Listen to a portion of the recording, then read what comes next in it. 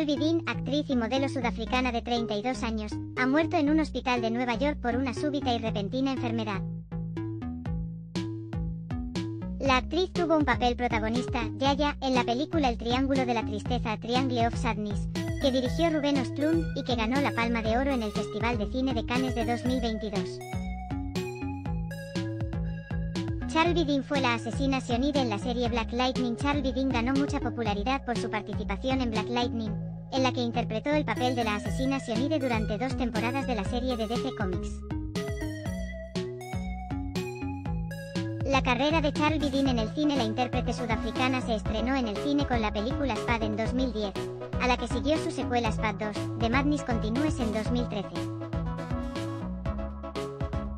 Otras películas en las que trabajó Charlie Dean fueron The A-Trace 3, Inferno, Blood in the Water, Don't Sleep y An Interview with God. Charlie Dean, modelo precoz, sobrevivió a un grave accidente en 2009. Charlie Dean trabajó como modelo desde los 6 años y firmó con apenas 12 años por la agencia Alpha Model Management.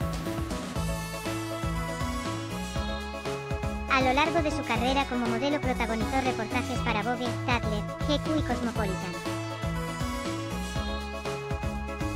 En 2009 la modelo y actriz sobrevivió a un gravísimo accidente de coche en el que sufrió un colapso pulmonar, se dañó dos vértebras y se rompió la muñeca, cuatro costillas y un codo. Tras ese accidente Charlie Dean sufrió una cicatriz en el vientre que no dudó en mostrar en desfiles como el de Amy Alexandre Matthews.